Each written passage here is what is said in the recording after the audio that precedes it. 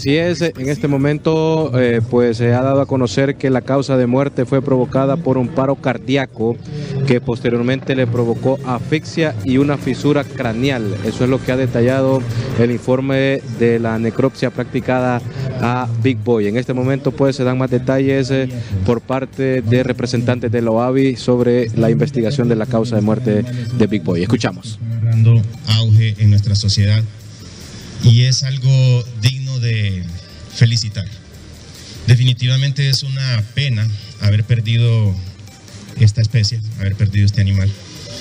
Pero también estamos hablando de que hay datos relevantes que mencionan que una especie de este tipo en libertad tiene un tiempo de, duración de unos 10 a 15 años.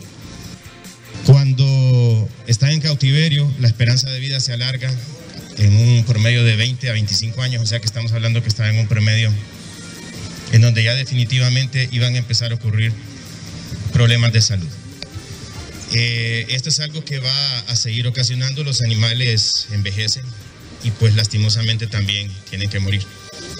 Entonces, como les menciono, definitivamente es una pena y pues nos sumamos, ¿verdad?, a la, a la, población con la tristeza, ¿verdad?, que nos toca anunciar que lastimosamente esta jirafa ha fallecido.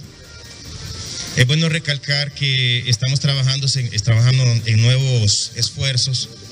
La idea es tener nuevos acercamientos que nos ayuden a apoyarnos, tanto el Zoológico Rosy Walter con, con, con Joya Grande, para poder ir trabajando en mejorar el estado en el que se encuentran nuestras instalaciones. Estamos muy enfocados en eso. Eh, los ministros están encargados también de apoyar bastante en todas estas iniciativas que promuevan el bienestar animal. Eh, con esto corto mi participación y pues si tienen preguntas también pues creo que al final las podremos responder.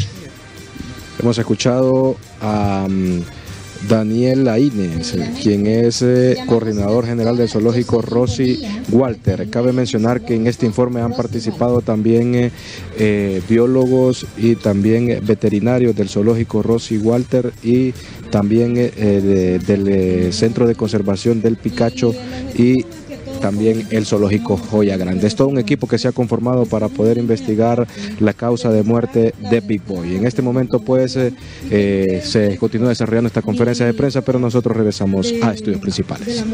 Bueno,